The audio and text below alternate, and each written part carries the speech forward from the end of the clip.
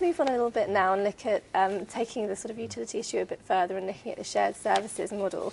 Um, uh, you sort of talked earlier about how the banks need to retool, but also they need to rethink about, um, you know, how they conceptualise how these processes are undertaken. Um, are you seeing much of a shift now in the back offices in that respect? Have people sort of woken up to the issues? No question. I mean, I think we, I mean, we, we, we see it first on the, on the reference data side, where when you have 200 security masters, 300 security masters within the bank, I mean, the, the, the, there's no way out, right? You, you can only, the only way out is to externalize these services. Same thing for post-trade processing. If you have hundreds, hundred different distributed groups doing, doing the same thing and trying to move to, to, uh, to a shared service model, it's, it's much easier to do it uh, outside.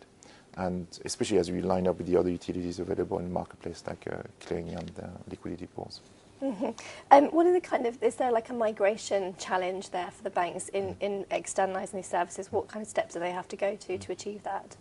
Well, I mean, there's, there's two choices. Either you, you can use as a, as a service, so, so software as a service, where you train the operations and there's no, no migration in that sense, or we can we do lift out of the data operations and basically serve serve the um, serve the data on, on the services uh, the, the, way they expect it to, to be in the first place. Mm-hmm. So the, the, the, migration is very light. Mm-hmm.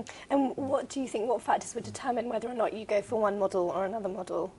It's it's. Um, it's a choice of the, the, the bank how much how much of the operations they want to, mm-hmm. to relinquish. Mm-hmm. So some banks might prefer to retain a little bit more control than yes. other banks, for example. Also, it might be a step function, and they, they, they want to make sure that we, are delivering the same quality or higher, and over time they will transfer some of the operational uh, aspect to us. Mm-hmm. Okay.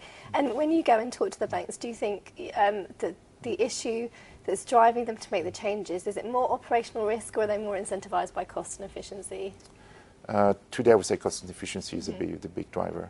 Uh, they, they, are, they, they have to, to, have a, to, to make drastic changes in, the cost structure. Mm-hmm. And the, the, front office, I mean, the front office is footing the bills for the, the back office, and they, they, they, need to basically sort, sort out the, the efficiency issue very, very quickly.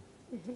So um, you just mentioned there that you have to change the cost structure. Uh, are there any sort of pressures on the other side? So, for example, um, we all know that certain types of trading become commoditized over time. So is there a constant pressure on the other side that the margins on the other side are also being reduced, and that's making the whole sort of um, cost of the process greater, proportionally speaking? Uh, no, no question. So when, when, you run all these processes in house, I mean, your cost structure is pretty much fixed. Mm-hmm. So if you have um, a drop in, in volume, well, the, the, the, cost remains the same, which means a, a very, very large exposure.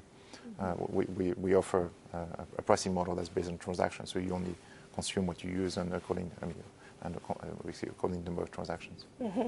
Um, I'm also quite interested in the, the geographical issues here.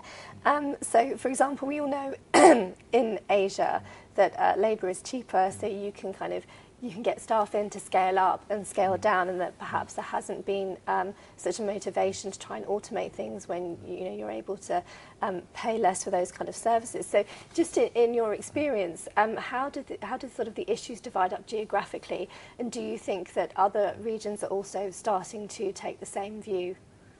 Well, I mean, I, I think the, the, the location of the staff is it doesn't matter as much as, as where, where the um, sophistication of the bank lies, because obviously a lot of the uh, US and European banks have uh, uh, offshore their, their, the back office to India, so they, they get the same, uh, the same uh, uh, cost benefit.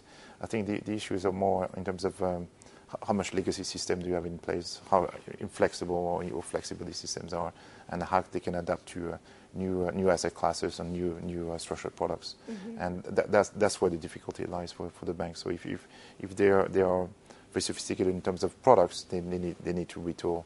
Um, I mean, much much quicker than others. Mm-hmm. I mean, you mentioned the dreaded words legacy systems there. Um, generally speaking, to banks in less mature or developing markets have fewer legacy systems, or is that a bit of a myth? It's, it, well, no, it's, it's, it's, not a myth. It's, it's, a, it's a mixed bag. I think mm-hmm. there's still in the US and, and, and uh, and in Europe, a lot of um, lot of legacy systems. A lot of the outsourcing uh, uh, players themselves are running on legacy systems, so they're creating a lot of issues because they're, again they're batch batch processors, and the world needs real time. Mm-hmm. Um, and um, generally speaking, the uh, success of moving to a kind of shared services model, presumably, as we were kind of discussing earlier, earlier requires it's not good enough if only two people subscribe to it, right? Because you're only as good as your counterparty's back office. So how can the industry hope to kind of create a bit of critical mass behind the model? Well, for I mean, re- reference data is causing half the trade break. So if you can convince a few hundred clients to, to, to run their, their reference data of this, the utility uh, of a utility model, immediately we can we can I mean theoretically we can reduce half the cost of mm-hmm. processing trades out of the box.